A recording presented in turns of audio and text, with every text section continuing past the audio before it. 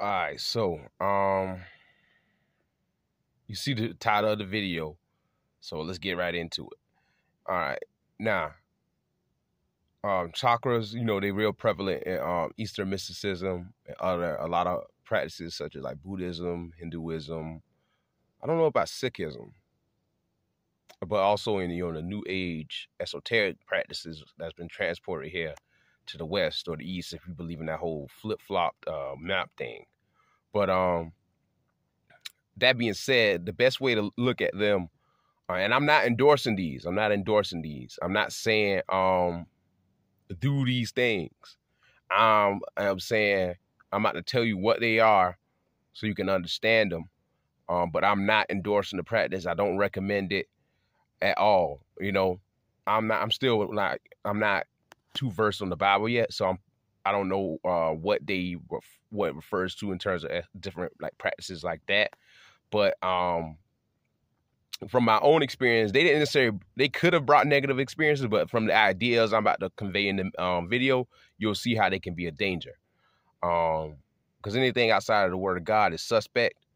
So you can bring in negative or positive entities when you do practices such as like you know chakra meditation, chakra tuning, uh, Reiki healing, and things of that nature. But I digress. Uh, what I'm about to say is that uh, chakras, so essentially, they rotate in uh, portals on your spine, right? You know that relates to like the Kundalini, um, that is your your spiritual column. And um, in Egyptian like times, they referred to it the the, the Djed, but it was less so less chakras back then. And there's different type of chakra systems. You got the the basic uh, seven chakra systems over here. Uh, and like uh, Tibetan Buddhism, you got the Kal chakra system, that's like six. Um, you got the 13 chakra systems. Um, you got like chakra systems that's related to every point on your body. You know, you got hand chakra, ear chakra, mouth chakra, eye chakra. You know, it's like, uh, but essentially, all a chakra is like a swirling pool energy, and these represent portals. These represent openings into your soul, right? Into your um your spirit. So that is why it's um it's like caution. I'm not recommended with dealing with them because when you open a portal, anything can come through. Um, you can offer up protection, but then like other forms of protection, like say like the Om chant in Buddhism, um, Hinduism, they are obviously okay and introducing like demonic spirits. Like if you look at Tibetan Buddhism, if you look at um Hinduism, their deities are like uh, very demonic looking. And I know they represent different things. Like the Heruka Buddha represents uh like the uh scaring away of uh like um what does it call it? Um things that are mar your soul, like anger, envy, jealousy. It looks like that to scare those things away from your soul is what they say.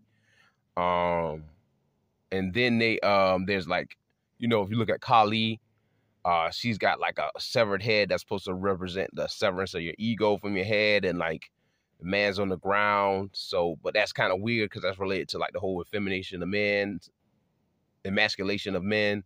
So, that coincidence is a little bit too um it's too coincidental for me to be like, okay, they're not related. So I'm just gonna err on the side of caution with that and say they're demonic. Uh, with that being said, though, um, yeah, those are portals into your your soul, into your psyche, your mind. So anything can come through, and use other practices to like ward them off. And I know that from personal experience can just increase some of they give you um temporary relief in the guise of relief, but they like they really about to. It's gonna be a cycle of relief, uh, torment, relief, torment, relief, torment, and that's gonna get you deeper and deeper into the practice. But yeah, each one corresponds to like an organ system, right?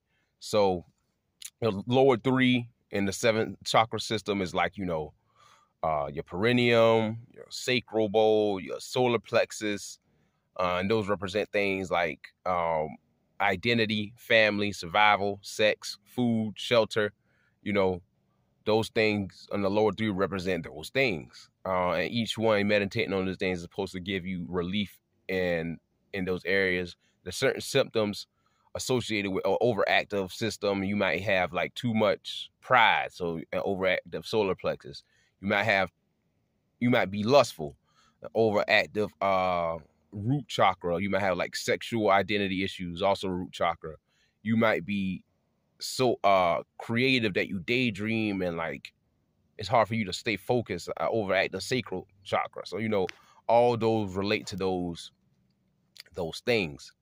Um now, um, going up above, you got, you know, your heart, your throat, your third eye, and your crown. All right. So those are the higher levels, of, and these are related to things like humanitarianism, um, religion, like connected to a higher power, um, visions, dreams, effective communication, uh, love of all things. You know, uh, even vegetarianism to a degree, but like an overactive um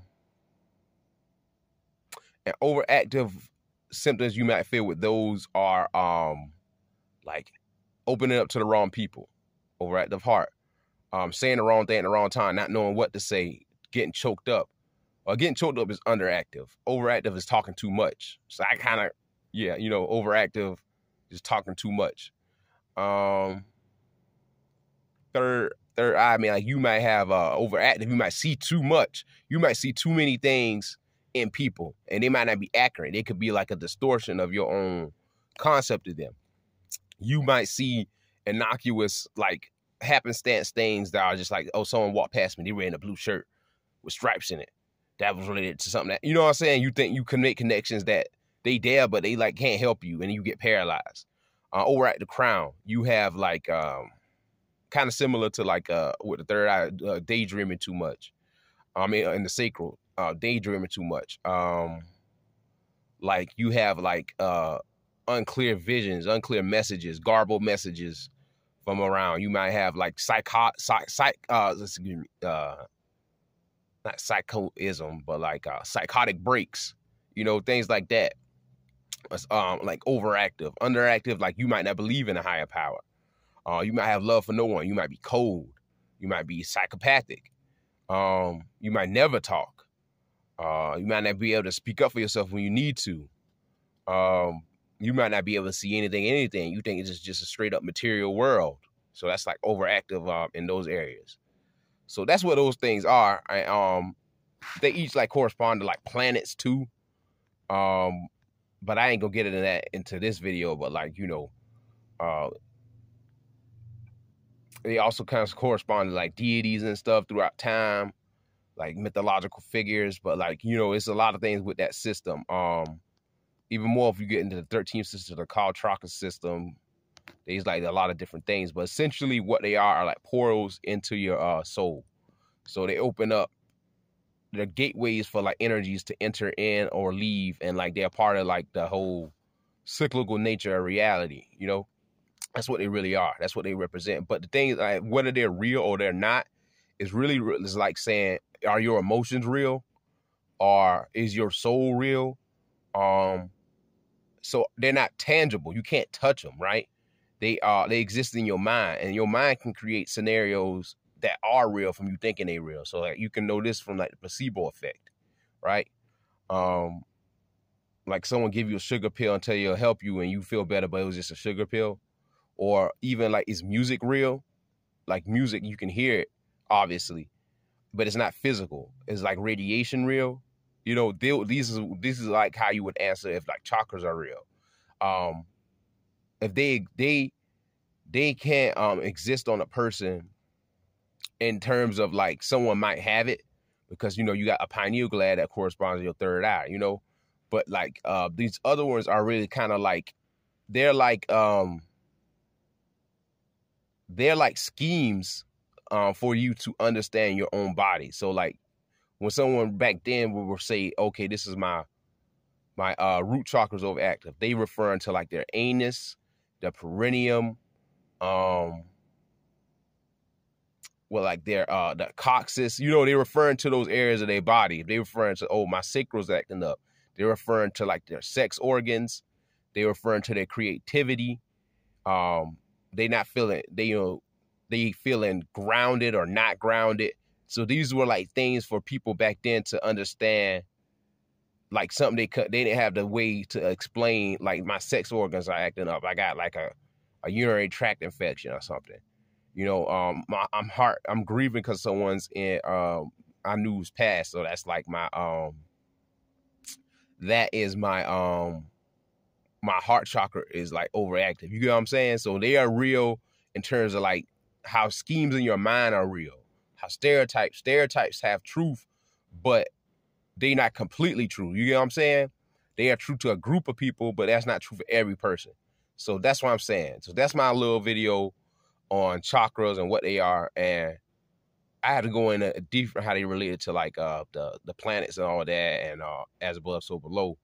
And I'm not saying that in terms of like I'm adhering to it, but I'm saying that in reference to that is like the whole idea about how you have them in your body and how they pertain to the planet. So I'm not a Satanist or nothing like that. Um, yeah. So there you go. Videos on chakras. Thank you for coming.